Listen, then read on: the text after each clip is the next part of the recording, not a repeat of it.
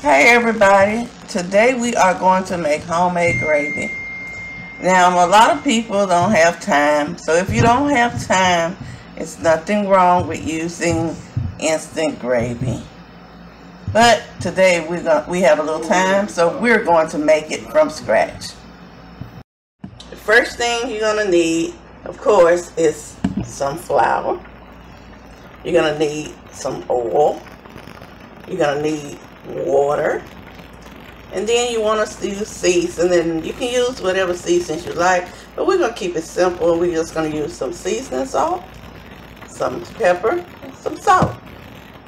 We're also gonna use just a little bit of a little bit of margarine. We don't have any butter today, but it will work. You need a cup to measure. You also can put in some frozen onion. And if you like it really creamy, you can always use a cream of celery, a cream of mushroom, or a cream of onion. It just to your taste. First, we're going to preheat our skillet, and it is hot because we're using a cast iron skillet today. So this is going to go really quick. You want to use your measuring to do your oil because you don't want to be standing over a hot pan still trying to pour oil. Once you get this oil in, everything is going to go really quick. So the first thing we want to do is make sure that your flour and your water is very close. We're going to get our onion because our onion is going to go in really fast. And this onion has been frozen, so it's going to add a little water to it on its own. Ready? Put just enough oil to cover the bottom of the skillet. That's about all the oil you want to use because all you want to do is brown your brown your flour. You don't want to burn it. You don't want to be eating a lot of grease. You just want to brown your flour. So you can test it by putting a little flour in it.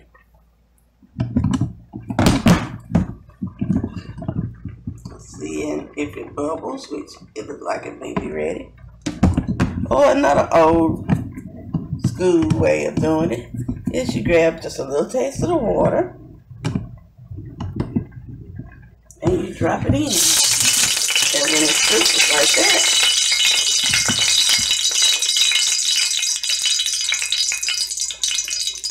you know it's ready.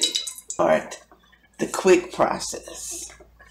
We're gonna use a scooper because we want to make sure we know how much gravy we're getting because you don't want it too thick, but you don't want it too thin either. So we're gonna use about, um, it says about a third a cup going to use about a third a cup of flour.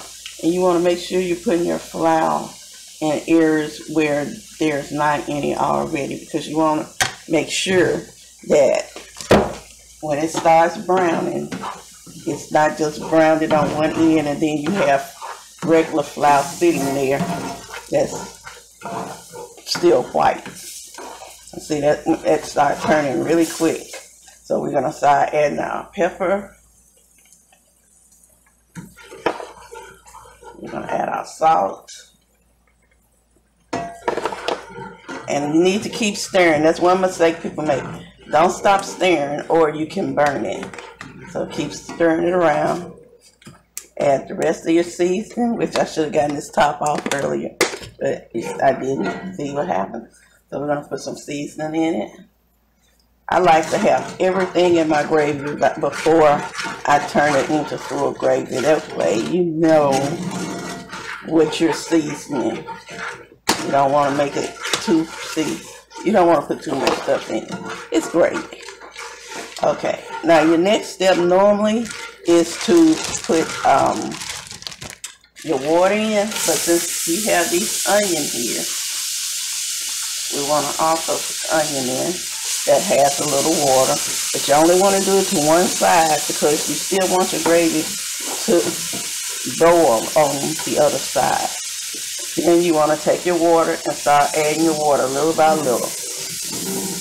Little by little. You don't want to add it too quick and you don't want to add it too late because you want your gravy to start thickening. See how that's thickening up?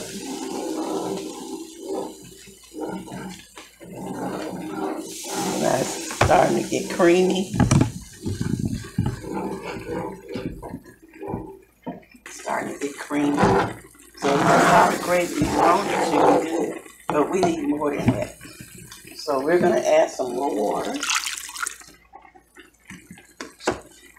and pick on how much water to add. Where that's why you want to add it little by little. You don't want to add it all at the same time, otherwise you end up with soup.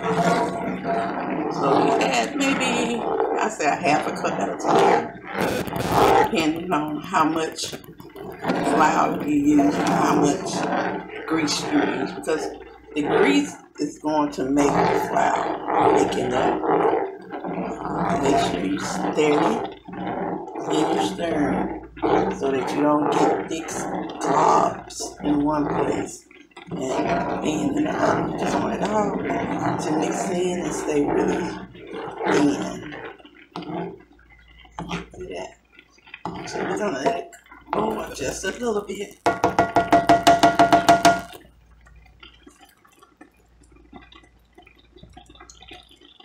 See that? See how it's boiling? that lets me know that it's going to thicken up some more. So before that happens, I'm to take a minute to open the can.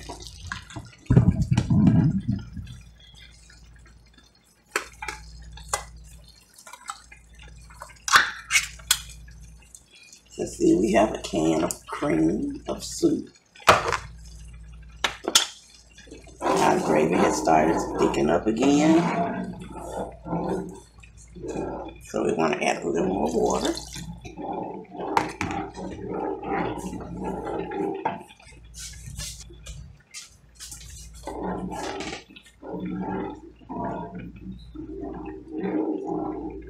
want to let it start thickening up again because when you put your cream in it, your cream of soup, it's going to start getting thicker so you want to make sure that it's done first of all, because we have these onion in here. You want those onions to boil a little bit. And you want to make sure that it's not already too thick. So it's a pretty good, um, pretty good combination. And of course, I need to keep the rice going, and it looks like it's ready. Although that is not in the video today we are still going to show you some of our pre-made food as usual. That looks pretty good.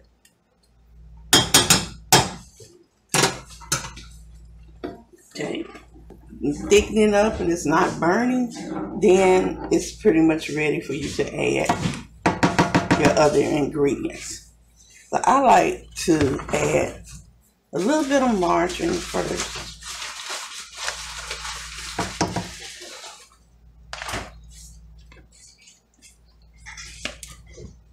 Well, I guess I end up with a lot of it since it fell in, huh? Told you. That's the world of instant TV. You never know what's going to happen.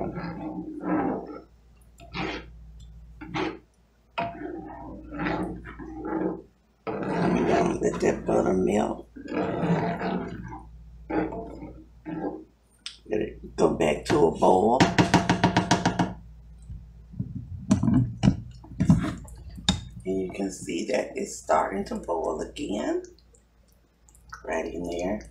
But we want it to melt this butter. So we're going to ease the butter over to the spot where the bubbles are. So that way we know that it's actually in a spot where it's being heated.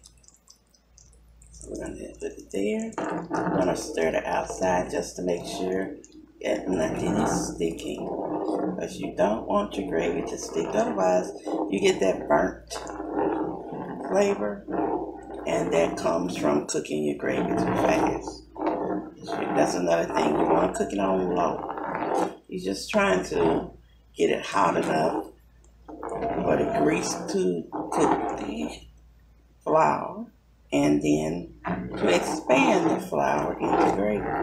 And you can do that on the lowest speed that your stove has, whether you're using a gas stove or a electric stove. If you're using gas, you put it on low.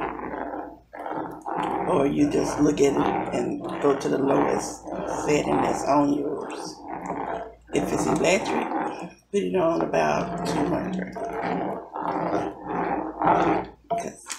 But remember to preheat it and wait till you know it's hot before you start it. Otherwise, you're just going to end up with a bunch of white gum. Okay, so we pretty much got that melted.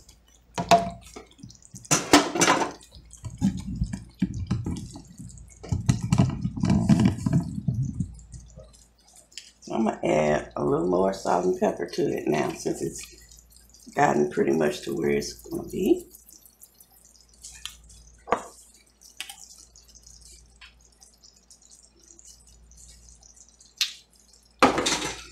Stir it. And now we're gonna start adding, see the texture?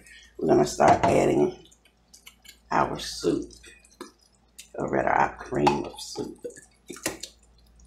and it usually comes out like that in a big lump. So I like to chop it up. Pretty much let most of the heat do the work. And just in little bitty sections, just little bitty circles like this. You want to start loosening it up. Because you don't want to just swish it around, swish it around, because gravy will hop out. And remember, the main ingredient in the gravy is oil. And it will burn you very, very, very, very bad. Once you get it where your soup is starting to smooth out, then you can move it around a little bit more.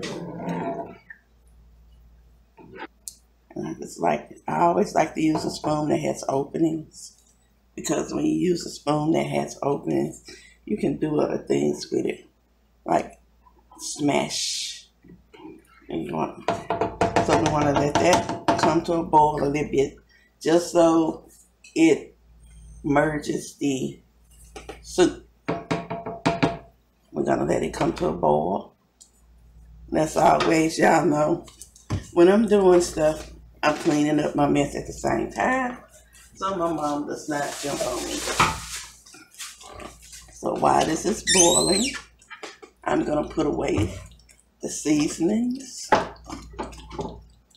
I'm going to put away what was the butter tray.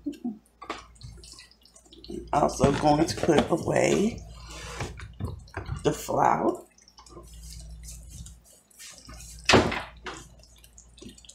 And that it's starting to bubble a lot.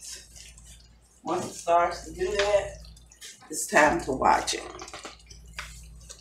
Let's see. You see it's bubbling? You want to start stirring again in little circles. Little circles. You'll take your time and put it in little circles. Gravy is nothing to play with.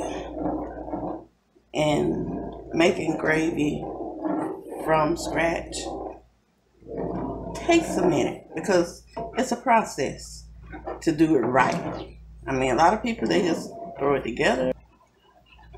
I like my gravy to be good. So I take my time and give it a chance to get done. And don't think this amount of gravy, this looks like a lot of gravy, but it's not going to be here very long.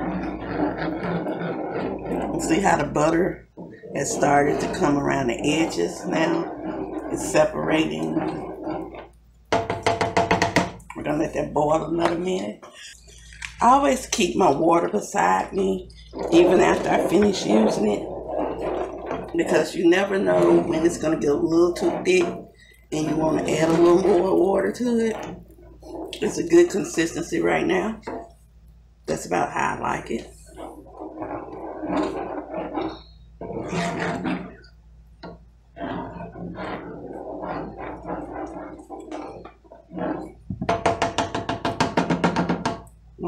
A little more. I want that soup to be so smooth that you can't tell the difference in the flour and in the soup. While we're it, and at this stage, we get a little of the bubbler part and make sure we have enough seasoning in it. Perfect. Stir this a little more since it's almost done. We just want those two ingredients to combine. And if you finish your gravy and you let it set for a minute and you see a lot of oil rise to the top, that means you're using too much oil. Don't do that because then you're not eating gravy, you're eating vegetable oil or canola oil or whatever type of cooking oil you use. I prefer to use vegetable oil. It's just me. And it is pretty much ready. See? You have your onions. It's a good consistency. You have both your gravy and your soup sauce. Looks like it's ready for the rice. Thank y'all. And the gravy goes over the salmon, vegetables, and rice. Looks great to me. And if you have greedy people in the house who only gets enough salmon and vegetables for themselves, you can always put the gravy over rice, and it's delicious. I'm Kimberly Racin. Kimberly Racin, she step on the clean. Kimberly Racin, she step on the clean. Kimberly Racin, she step on the clean. Kimberly Racin, she step on the clean. K I L B E R L Y. Kimberly Racin, she step on the clean. K I L